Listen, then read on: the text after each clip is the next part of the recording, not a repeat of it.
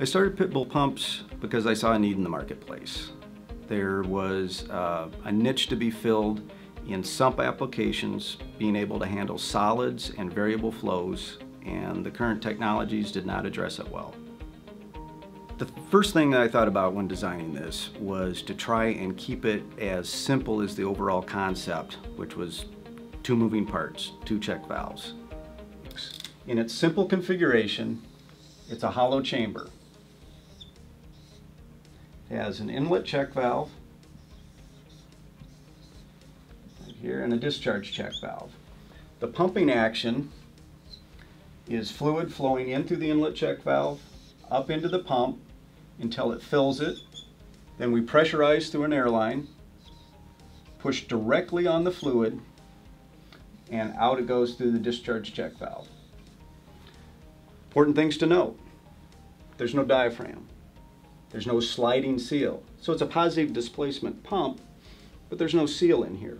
So we call it pneumatic displacement.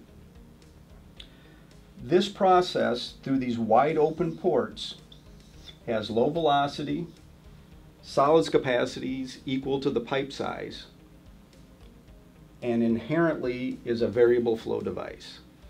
So that means you can run big solids at low flows, big solids at big flows, and anywhere in between.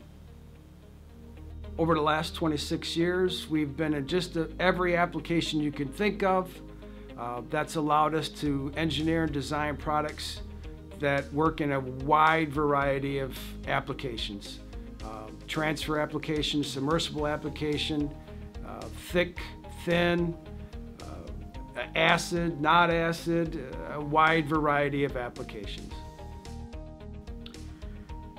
Key benefit of this kind of construction is not only can the pump be opened up by just undoing a bolt pattern, it could be rebuilt at the same time. Does not take any special skills or tolerances and can be done literally at the side of a sump in the field. People tell us they're surprised how quick we get back to them. Uh, we're just a phone call or an email away.